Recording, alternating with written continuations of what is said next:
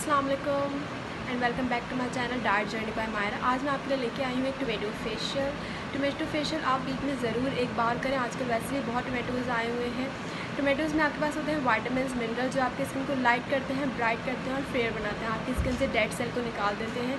Tomato आपकी skin को fair करता है और पिंकिश लुक देता है। चलो आइए देखते हैं ये टोमेटो फेशियल कैसे करते हैं। इससे पहले आप मेरे चैनल को सब्सक्राइब करें लाइक करें, अपनी फ्रेंड के साथ ज़रूर शेयर करिएगा और बेल आइकन प्रेस करना नहीं भूलिएगा ताकि आपको मेरी अपकमिंग स्क्रब की वीडियोस हेल्थ से रिलेटेड स्किन से रिलेटेड और वेट लॉस वेट गेन की वीडियोस भी मिलती रहें। स्टार्ट करते हैं हम अपना फ़र्स्ट स्टेप इसके लिए आपको लगेंगे दो टमाटर। एक टमाटर को आप पीस लेंगे और एक टमाटर पीस कर प्योरी बना लेंगे और एक टमाटर को आप इस तरह से स्लाइस कर लेंगे। आपके इसके लिए मैंने पहले ही इसको कट करके और एक को प्यूरी बना कर रख लिया है। ये देख लें इसकी प्यूरी कैसी होगी। सही, अब हम चलते हैं इसके फ़र्स्ट स्टेप की तरफ़, जो कि है क्लिनजिंग क्लिनजिंग के लिए आपको क्या करना है? एक बोल लेना है। उस प्याले में दो टेबल स्पून आपको कच्चा दूध डालना है और दो टेबल स्पून आप टोमेटो की प्यूरी लेंगे। ये आपके फेस को बहुत अच्छी तरह से क्लीन कर देता है। इसे अपने फेस पर अच्छी तरह से अप्लाई कर दें। कोई पार्ट नहीं जाने दीजिएगा और अपने नेक पर ज़रूर लगाएगा। नेक पर लगाना नहीं भूलिएगा। हम अक्सर जब फेशियल वर्क कर रहे होते हैं तो अपनी नेक को भूल इस क्लिनजिंग को आप 15 मिनट्स तक करें, थोड़ी देर फेस पर लगे रहने दीजिएगा, उसके बाद आप इसे सादे पानी से वॉश कर लिएगा। याद रहे कि कोई केमिकल फेस वॉश अभी यूज़ नहीं करना है, हम सिर्फ़ सादे पानी से अपने फेस को वॉश करेंगे। क्लिनजिंग के बाद ही आप देख सकते हैं रिज़ल्ट कितना ज़्यादा स्मूथ है। चलते हैं हम अपने सेकंड स्टेप की तरफ़, जो है स्क्रबिंग स्क्रबिंग के लिए आप लेंगे एक बड़ा चमचा ग्राउंडेड शुगर और दो टेबल स्पून प्यूरी के। इन दोनों को मिक्स कर दिएगा आपस में ताकि चीनी अच्छी तरह से प्यूरी के अंदर घुल जाए। ग्राउंडेड शुगर हमारे पास पिसी हुई चीनी है, या बेलन की मदद से भी इसको पीस सकते हैं।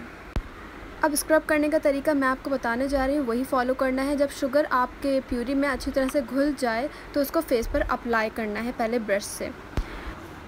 शुगर में होता है आपके पास ग्लाइकोलिक एसिड ये स्किन को केमिकली एक्सफोलिएट करती है और डेड स्किन को निकालती है। डेड स्किन को सही तरह से लूज़ करती है, जिसकी वजह से ईजिली वो हट जाती है।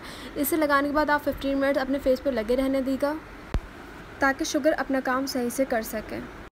जब ये ड्राई होने लगे तो आपको नेक्स्ट स्टेप स्क्रब के लिए क्या करना है? जो हमने स्टार्ट में टोमेटो को स्लाइस किया था उसको ग्राउंडेड शुगर में डिप करना है। ये अच्छी तरह अच्छी तरह से जब इसमें शुगर कोट हो जाए इसे अपने फेस पर स्क्रब करना डेड स्किन की वजह से आपकी स्किन अनइवन हो जाती है और कहीं से ये डार्क लगती है कहीं से ये डल लगने लगती है। कॉम्प्लेक्शन आपका फिर ख़राब होने लगता है इसलिए आपको चाहिए वीक में एक बार ज़रूर इसे एक्सफोलिएट करें और इंस्टेंट रिज़ल्ट के लिए आप इसे दो बार अप्लाई कर सकते हैं अपने फेस पर। ये स्क्रब टैनिंग रिमूव करता है न्यू स्किन सेल्स प्रोड्यूस करता है और ब्लड सर्कुलेशन भी फेस पर इम्प्रूव करता है, जिसकी वजह से आपकी स्किन ब्राइट और प्लम लगने लगती है।